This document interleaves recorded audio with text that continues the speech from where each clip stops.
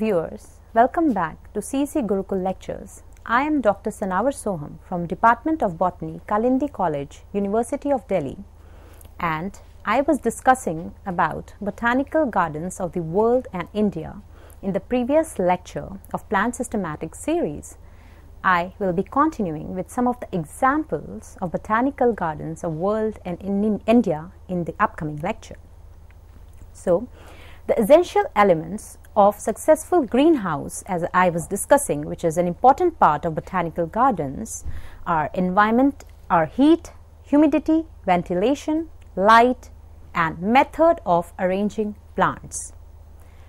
The heating, humidifying, watering and introduction of nutrients are all done automatically in the green and glass house in the botanical garden and apart from green and glass house a botanical garden should possess phytotrons and conservatories as well.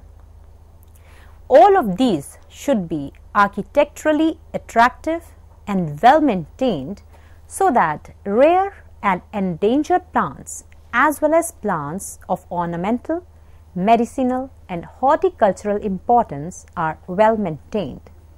Special attention should be given to cacti, succulents, orchids, etc. The first garden for medicinal plants was established by an Italian professor of botany, Luca Ghini, and this was known as Physic Garden and it was based on the idea that all plants had been put on earth by God for our use. Now, what are the role of botanical garden? First one is to cultivate and maintain plants of interest on scientific basis to show vegetation of the world on geographical characteristics that is Himalayan flora, alpine flora, etc. To maintain plants which are in danger of extinction and save species. Also to plan germplasm collection. It also serves as a research center in various fields. It also facilitates taxonomic studies by preserved and live plants. It promotes educational programs and research in experimental botany and ornamental horticulture. Now, some of the examples of botanical garden are number 1 as I had already discussed the Royal Botanic Garden Kew. It is monumental institution in the world. It has most modern and well equipped laboratories and collection of rare plants. This garden is situated on the bank of River Thames in London, UK. The garden extends over 200 acres of land which is beautifully planned. This is one of the chief attraction of the world and is regarded as very precious.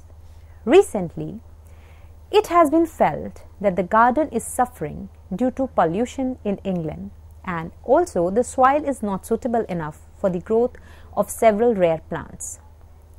This slide shows the Royal Botanic Garden, Kew, London, and herbarium of this botanic garden, as I had already discussed, houses 6.5 million specimens, and thus it is the largest herbarium of the world. The arbitor arboretum has more than 7,000 species and varieties. There are about 13,000 uh, species and varieties growing in the glass house and around 80,000 herbaceous species which are growing in the outdoor garden. The layout of Kew includes the collection of many many plants such as willows, oak, elm, cedar, lilies, Japanese cedar, roses, pears, crab apples, acacia, etc., etc. The special gardens at Kew comprise rhododendron collections, the bamboo garden, chalk garden, rock garden, shrub garden, heath garden and a rosary. The splendid greenhouse in the Kew garden include a palm house, fernery, water lily house, alpine house and temperature house. Some of the important publications of Royal Botanic Garden are Flora of British India, Kew Bulletin and Index Kewensis. Now, let's move on to the next part that is taxonomic documentation. Now we know that identification is integral to all taxonomic works and most often the identification of any plant specimen is done by comparison with an authentic plant or authentic data that is a previously identified known plant specimen and such a process of determination of correct name of a plant is called species determination. To determine the correct identification of a species, the person should have knowledge of taxonomic methods, manuals and other resources. Expertise in identification of plants is an additional prerequisite. To begin with, it is assumed that a classification exists and the plants have been already assigned the names. There are numerous kinds of resources from where the correct, authentic identification can be retrieved. These are called taxonomic documents.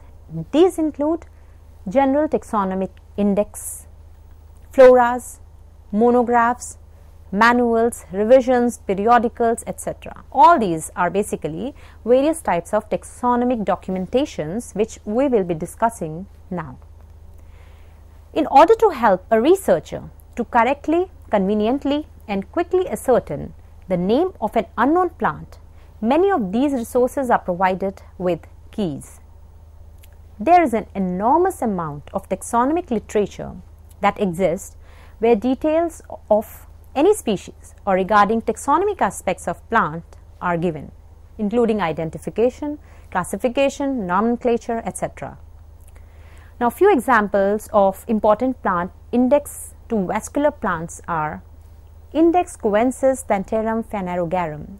As I already discussed, Index Kewensis was published by the Royal Botanic Garden, which is in Kew.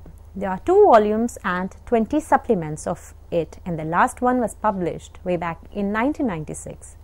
This work is a cornerstone to the literature on the systematics of flowering plants. The compilation of original work was made possible by Charles Darwin and it was compiled at the Royal Botanic Garden Kew by B.D. Jackson and his clerical assistants under the direction of Sir J.D. Hooker.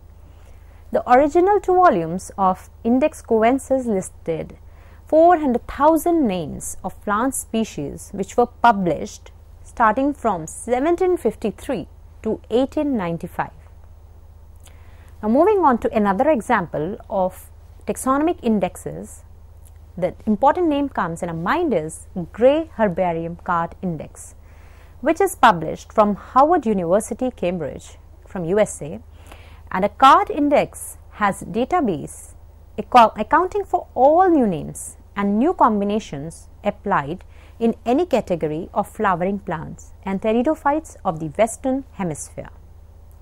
It had covered around 2,87,225 cards for taxa published since 1873. It provides invaluable information as it accounts for latent names which were given to the vascular plants since 1885. Now, moving on to another example of important part of taxonomic documentation which is flora. A flora is a work dedicated to plants of a particular region and also usually restricted to a major segment of plant kingdom such as say vascular plants, flowering plants, etc., etc. There are numerous floras that account for all vascular or seed plants. A flora provides an inventory of plants occurring in a definite area. It is usually authenticated by citation of herbarium specimens and their location. So, it is customary to arrange the plants in a known recognized system of classification with Bentham and Hooker, Engler-Prantl system of classification, Hutchinson or any other. It generally provides a key to identification of plants recorded in the flora. Field study is important ingredient for preparation of an inventory. Some of the features that taxonomist records during making of an inventory are number 1 they find out the texture of a plant, habit, they see the size, units, the fragrance, pollinating agents, station or location, frequency, etc. Then they also record habitat type, other associated plants, soil type, soil pH, exposure to sun, direction of habitat, elevation, etc. Most importantly, vernacular names are also taken into record. It is recommended that the inventory should mention whether the recorded specimen or species are indigenous, that is, are they local? Second, are they naturalized, that is, are they fully established in that area? Are they reproducing? Are they migrating or expanding in the new area? Number third, they are also seen that are, or maybe the species are introduced, introduced that is brought deliberately by man without cultivation and then introduced in a new area or are they adventive that is they entered an area by means but unable to meet competition. So, all these are recorded while making up a flora. Now, some examples of world floras are the Natural History of Plants by Baillon. Another world flora which is famous is Genera Plantarum which was written by Bentham and Hooker. Die Natürlichen Pflanzen Familien was written by Engler and Prantl. Another world flora which is uh, well known is the Families of Flowering Plants by Hutchinson. There is North American Flora written by Britton and a Handbook of British Flora by Bentham. Moving on to some of the important Asian floras, we cannot forget about Herbaceous Flora of Dehradun which was published by C.R. Babu. Then Flora of Indian Desert Scientific Publishers have basically uh, published Asian Flora, which was written by M. M. Bhandari. Flora of Upper Gangetic Plain and the adjacent Shivalik and sub-Himalayan tracts was written by Duthie and Flora of British India was written by Sir J. D. Hooker. Flora of Ladakh has been written by Ms. P. Kachru and Indian medicinal plants are written by Kirtikar. Now, moving on to another segment of taxonomic documentations that is monographs. A monograph is defined as the complete account as can be made at a given time of any one family tribe or genus, nothing being neglected of it. It is a worldwide in its scope and application. It reviews all taxonomic treatments that have been made in a particular taxon. So, it basically provides a detailed study of any plant taxa which is studied. It synthesizes all available cytological, genetical, morphological, anatomical, paleobotanical and ecological studies of the taxon by its author, co-worker or others. Considering the large number of disciplines that are undertaken, it needs several types of patient study for writing a single monograph. All elements of the treatise are accounted for by dichotomous keys. I will be taking up keys in the, uh, very soon in this lecture itself. Full synonyms, and complete descriptions, precise designation of types together with the notes as to where the types are deposited, the citation of specimens examined, the distributional ranges, and notes on the habitats and discussion of taxonomic and nomenclatorial considerations. Some of the example are the most famous one being Pinus Botanical Monograph which was published by Panchanan Maheshwari is an example of a monograph. Now, moving on to manuals, which is another type of taxonomic documentation that helps in studying a taxa.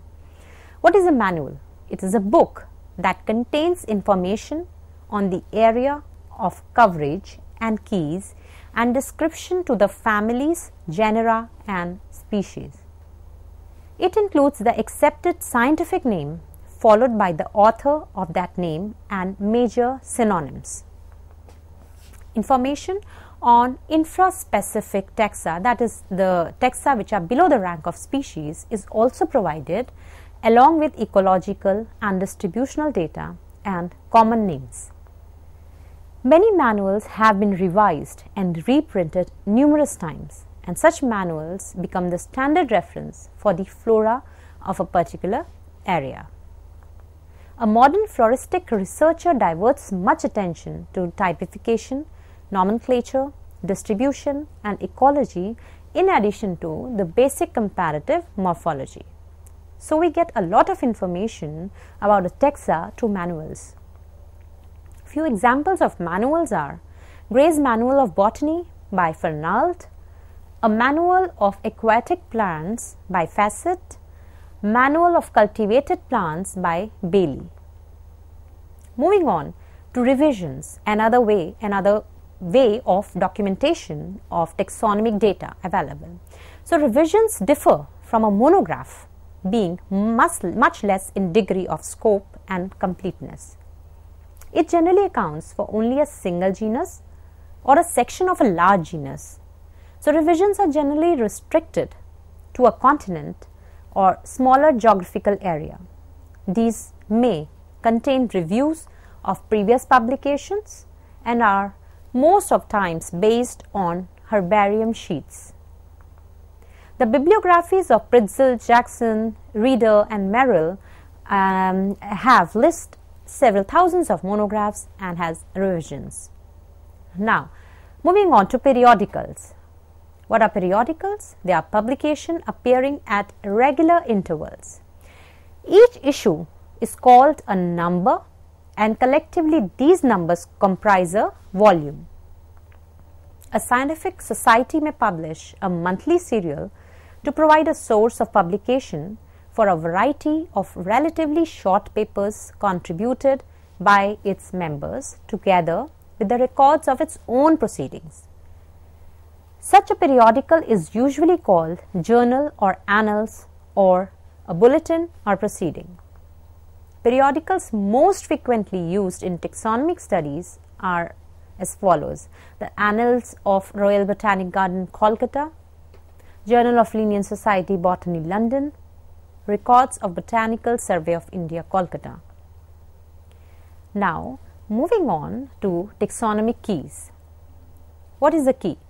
It is an artificial device or an arrangement for determination of names of plants included in it.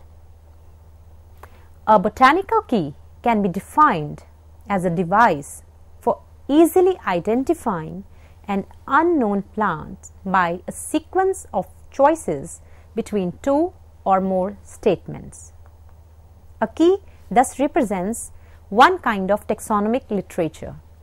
The first key was introduced in 1778 by French botanist Lamarck for the identification of names of the plants, both fresh material as well as dried herbarium materials can be used. The critical observations that a person determining the specimen need to record are its habit, phyllotaxy, phyllotaxy means arrangement of leaves on the plant, on the branches, the shape, the apex of leaf, margins, venation of a leaf, the trichome characteristics, the floral features, presentation, ovule number, the fruit type of that plant, etc. A good key is a synopsis presenting graphically the technical characteristic which in general or in aggregate differentiates taxa. The most common form of keys present the user with a series of pairs of contrasting statements which are called couplets. The user is called upon to compare the plant under determination with the first of these pairs to decide which one of the two contrasting statements apply better to the plant. The key then further directs the user to appropriate following pairs until the given plant specimen is named. Some of the characteristics of key are number 1 a key should be reliable and constant. It should be appropriate for the area from where the plant to be identified was collected. Say for example, plants collected from Delhi may or may not occur in South India. So, therefore, If we are using key for plants of South India, they may not help in identification of the plants which are present in Delhi. It can be used with ease and certainty of naming a plant. It should employ macroscopic characters that are easily observable instead of microscopic or which require sensitive instruments. The statements should always be positive, say this is present or that character present instead of absent. It is desirable that user is provided with a series of choices between two mutually exclusive and parallel statements called couplets. Then the initial word of a couplet should refer to a plant or a plant part that is say plant, stem, leaf, flower, fruit etc. So, the couplet should start with these words. The initial word of each lead that is a statement of a couplet must be same and two consecutive couplets should not begin with the same word. If one couplet uses one part of a plant, leaf, flower as the first word, then the next couplet should use a contrasting character for identification. Both vegetative and reproductive characteristics are used in a couplet. The initial word of a couplet should be a noun referring to plant or plant part. This means that in the ki, the plant part should be mentioned first and its description must be mentioned afterward. For example, if we are talking about leaves, so if we say the leaf margins or the leaf shape, leaves entire or pinnate, so we shall be writing leaves entire or leaves pinnate and not entire leaves, entire pinnate. We should write flower actinomorphic or flowers zygomorphic we should use the word flower first and then its characteristic which are contrasting. Three or more characters in a couplet should be avoided. So, for construction and use of a key, we talk the taxonomic keys are made by using a number of contrasting characters to divide a larger group of plants into smaller and smaller groups. For example, the plants with vasculature versus plants without vasculature. We can also group plants uh, and we can make smaller groups based on vascular plants with seed versus vascular plants without seeds. We can also further group them based on the enclosure of seeds, say plant which are enclosed seeds or plants which have naked seeds. Then further we can move on and we can classify and we can just uh, group them further based on the seeds seeds with embryos which have two cotyledons versus seeds with embryo which have only one cotyledon. So, this slide shows basically uh, the grouping of land plants. So, as I told you that we start up with one character or two character and we start dividing the uh, plant and group into smaller and smaller groups. So, in this you can see that plants are first, land plants are first divided into plants without vasculature that is the lower plants, the bryophytes and pteridophytes and another group is plants with vasculature. So, we divided the plants with vasculature that is the higher gymnosperms and angiosperms again uh, further into two groups based on whether the seeds are present or whether the seeds are absent. So, we group them into seedless plants and the plants with vasculature and which also have seeds.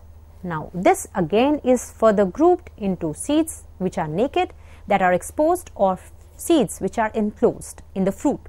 So, the enclosed seeds part is again bifurcated and we group them into another smaller category based on embryos which have two cotyledons or embryos with just one cotyledon. So, in this way we start classifying and we start grouping the plants for identification and creation or construction of taxonomic keys. Some other characteristics or pairs that are often used are herbaceous versus uh, woody habit, actinomorphic versus uh, zygomorphic flowers, perianth present or perianth absent, ovary superior versus ovary inferior. We actually try to take up demarcating contrasting characters to build up a key. Also, it is very important to obtain as much information as possible about the characters of the taxa to be identified. Selection of a proper key is also necessary to arrive at quick, correct identification of an unknown taxon. It is also necessary to apprise oneself to various terms of glossary and abbreviations prior to reading of a key, as without the understanding of the terms and what they mean, we would never be able to come and conclude a new taxon and understand the key in first place. So, to arrive at correct name, it is advisable to verify the results obtained through the use of a key by comparing the unknown specimens with an illustration or with a herbarium specimen. So, the summarization of the steps which are the prerequisite for the preparation of the key are number 1 it should be dichotomous. Number 2 first word of the couplet should be identical. The second part of the couplet should be contrasting. We should avoid range of characters in a couplet. Statement of the couplet should be positive. The characters or features chosen should be easily observable. Leads of the consecutive couplets should not begin with the same words. The couplets of a key may be numbered say 1, 2, 3 or lettered A, B, C, etc. We shall understand faults and limitation of a key as well. If a given key is not working properly, maybe it is faulty. For example, as mentioned above, the key must be appropriate for the area to be useful. Sometimes the characters mentioned in a key are quite fictitious and are not really observable in the specimen. Sometimes even if in the given pair it characters are contrasting, they are not distinct.